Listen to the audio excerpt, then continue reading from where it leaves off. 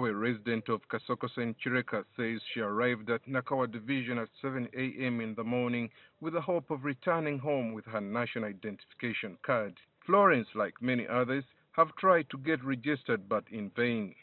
id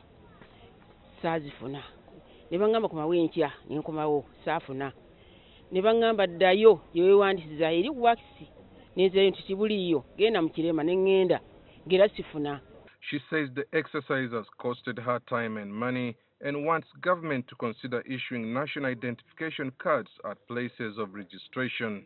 Ah, sinnaba kufuna akantu konna kandisabye bassebo oba gavumenti etukwatireko etuwa obuyambi tusobole okufuna gye twewaanisiza How can you combine the whole, the whole division to, to one position, to one, to one location?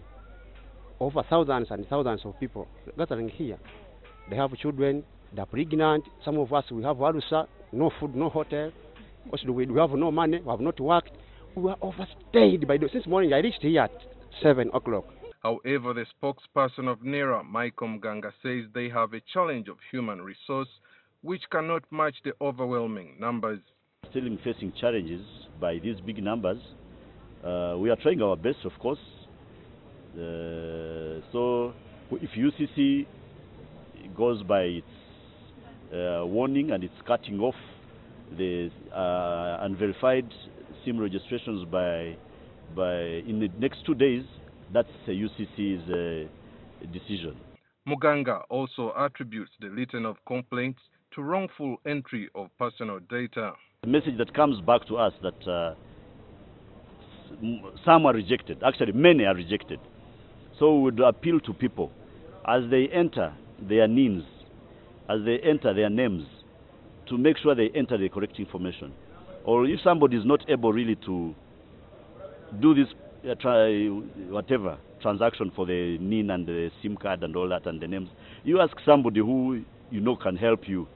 Over 1.5 million additional national identification numbers have been confirmed by NIRA.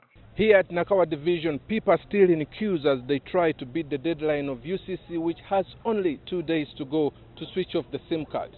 But NIRA says that it won't guarantee a speedy acquisition of NIN numbers to those who have been registered because of the verification period. So this is a process which might not.